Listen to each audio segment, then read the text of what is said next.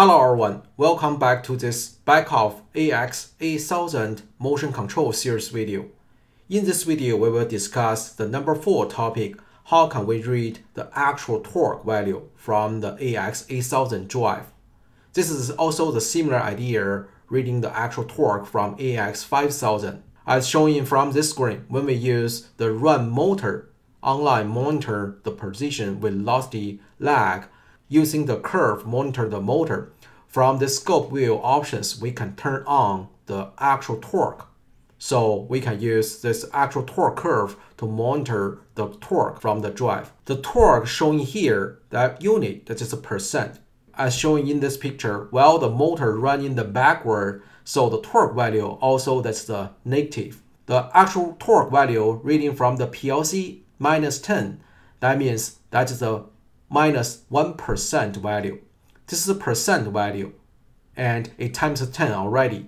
Other than this percent value, we also need the base, the base Newton meter torque value. So once we have the base, we can multiply this percent so we can calculate the actual torque Newton meter value. So in this video, we will discuss how can we read this percent actual torque percent and how can we know the base torque value. In the previous videos, we used the I.O. scan. So we scan the drive AX8000 drive in my case. And under this drive, I have the motor A and the motor B, two motors. Okay. And after that, we create this drive manager, this project. And this drive manager will read the actual configuration from the I.O. Also, once we go online, this drive manager will scan the actual motor type here. And then how can we read the actual torque from this channel B? I will use the channel B as an example. So we can double click this channel B, go to the drive manager, this main screen, and then go to the advanced. Okay, firstly, let's go to the process data. Here we type in the torque. So from the output and input, you can find some variables associated with the torque. So output means the PLC gives some controls to the drive that output. For example, normal case where we use the PLC might give us some torque limitation. Here, the positive limitation and the negative torque limitation, right? And in this video, we will discuss how can we read the torque. The input means this value transfer from the drive to the PLC. The input means this direction.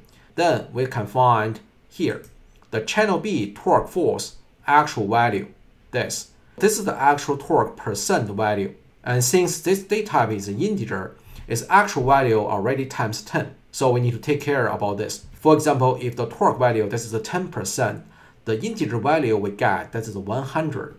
Okay, click this right side. Okay, this is the B channel. And if you want to read the channel A, so we can go to the channel A, same place, advanced, process data, and we can search torque, and then the channel A its number is 677 here, torque force actual value, okay? And channel B, so channel B, that's 6877, okay? After we transfer this variable from the left side to the right side, so we give this channel to the PLC. And then let's go to the PLC I.O. area. So this is our drive and under this drive, we have a channel A and a channel B. So after we transfer this tag to the right side, the system will create these two tags under the drive. For the channel A, a named torque control input. And for the channel B, a named channel B torque control input. And then we can connect. So if we double click here, so you will see the data type is integer. And once you create one input integer, and you can link that variable. This is the, the first method. And for the second method, as you can see, the system automatically connect one variable at here and link to the NC task SAF here.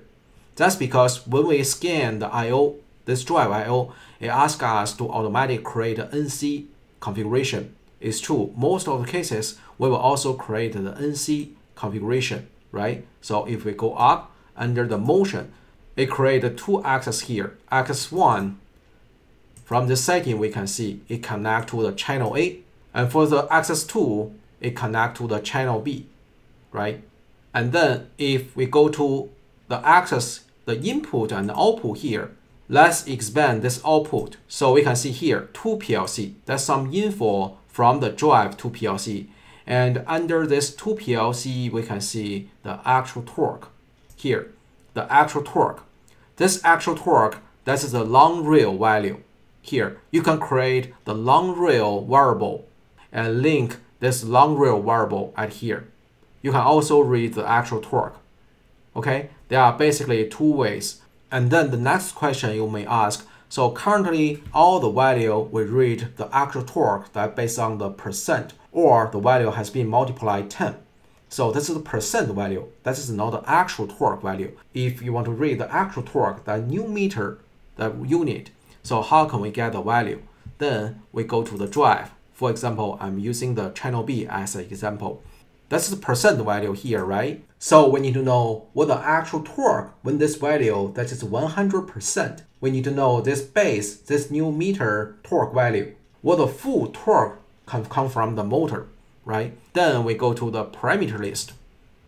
And here we can search standstill. We can search standstill here. For AX8000, this name is channel A or channel B motor standstill torque. So for my motor, its torque is 1.2 Newton meter. And for the AX5000 motor, you can search this parameter. It named config channel peak torque, peak torque. So all the value, the percent value need to multiply this peak torque value or the standstill torque. Then you will get the actual torque value, Newton meter unit. Okay, so you can see this unit is a Newton meter. So again, for the channel B, this motor, that is a standstill torque, the 1.2 Newton meter. So this means if you want to calculate the actual torque Newton meter value, then you can use this uh, solid, this static value 1.2 times the actual torque percent value. Then you get the actual torque Newton meter value. Okay, this is the basic idea. And then you can go online and click this run motor. And once you go to this run motor, you will see by default, there will be three graph here, position, velocity, and lag. So to monitor the torque, you need to go to the scope view options, turn on this torque option, which is very easy, just one checkbox. And then you click this go online and online monitor this online curve. So from this graph here, you can monitor the online torque percent value. And keep in mind, when the motor running the forward direction, the torque value that is positive. When the motor running the backward go reverse, the torque that is the minus. Let's go online. Okay, let's start. So as we can see, now the motor running the positive direction, 375, and the torque value, that's the 1.2 around here, that's the positive value. This is 1.2%. Now I stop the motor. Now go reverse. So we can see this direction minus 375, reverse direction. So the torque also give me the negative 1.2%. So the torque positive or negative, that means the direction. And then let's go to this channel A, this channel A torque actual value. And from here, we can double click, click the I.O. monitor we can monitor if the torque value reading from this I.O. if that equal to the actual torque monitor at here, at this curve here. So double click and we can drag and compare. So now this I.O. read the actual torque value, this is a 10, right? So from this curve, we can see this is 1%. If I decrease, go minus, we can see minus 10. This is a minus 1. See? Now we are running the reverse direction. So this value is minus. Now this motor running the positive direction. So this value is positive. 1% actual torque.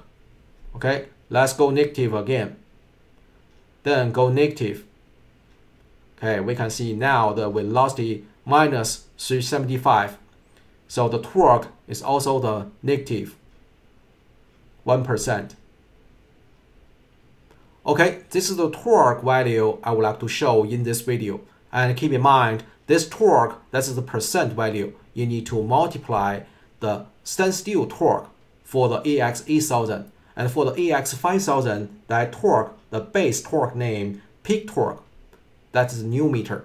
And once you multiply this percent actual torque value, you will get the torque, the Newton meter unit, the torque value.